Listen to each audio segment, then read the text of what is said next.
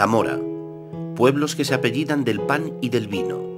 Geografía definida en esta tierra, el pan al norte, al sur el vino.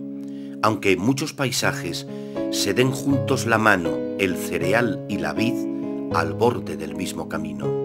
Trigo que ha brotado desde la crudeza de la helada en las tierras llanas, abiertas de campos, y vino que ha engendrado la cepa bebiendo soles y lluvias en los pagos de Toro o Fermoselle. Pan y vino, las dos mitades del corazón de Zamora sobre el solemne altar de la pasión.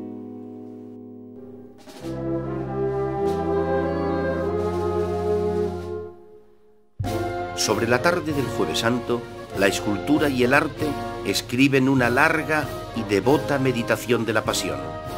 Hablan juntos el Evangelio y la madera.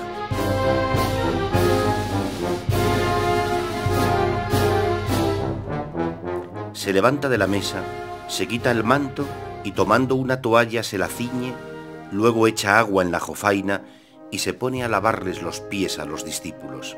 Llega a Simón Pedro y éste le dice, Señor, ¿lavarme a mí tú los pies?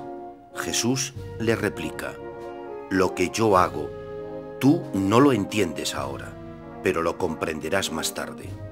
Este momento lo ha trasladado a la madera el escultor zamorano Higinio Vázquez.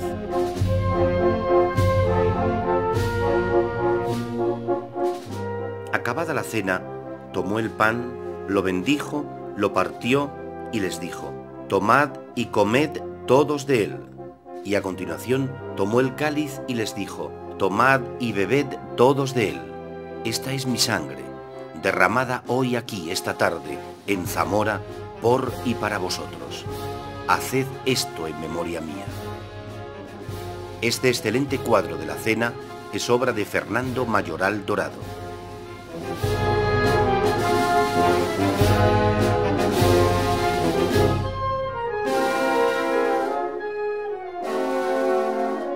El ángel en el huerto limpia de angustias la mirada de Cristo.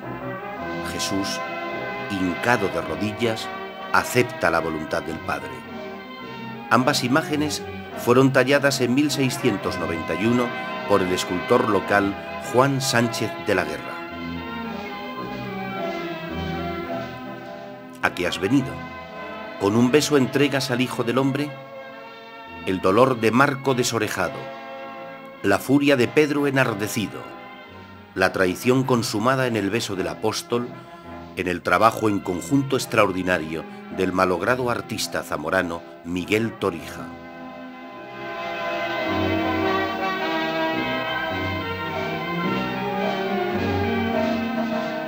Escribe escuetamente el Evangelio y le flagelaron.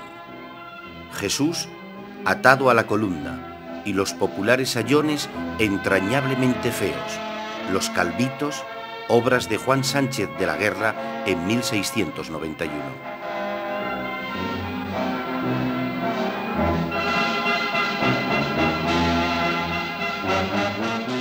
Entonces Pilato tomó a Jesús y lo mandó azotar.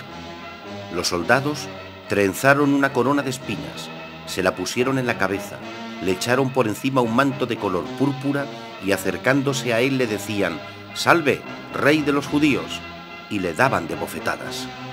Este bello pasaje de la coronación es obra del zamorano Higinio Vázquez.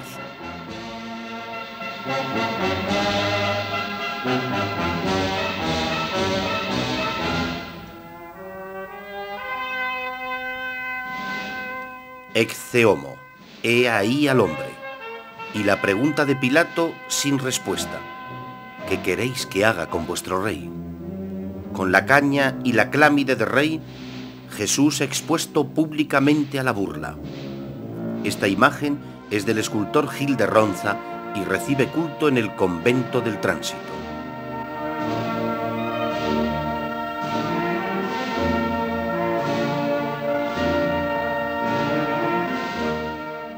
El soldado pregunta según pasa por la plaza. ¿A quién preferís? ¿A él o a Barrabás?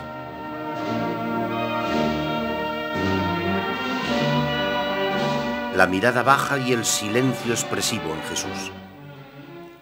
Pilato, soy inocente de la sangre de este justo, lavándose el miedo en la jofaina, y la inocencia del niño esclavo utilizado para tan inútil rito. Esta soberbia obra es del gaditano Ramón Núñez, discípulo de Ramón Álvarez.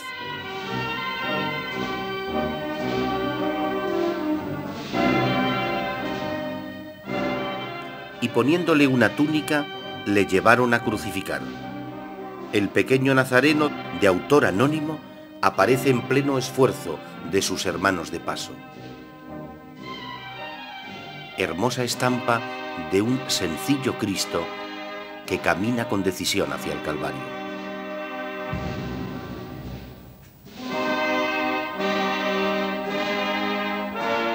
La tarde del jueves santo, al final, tiene nombre de madre.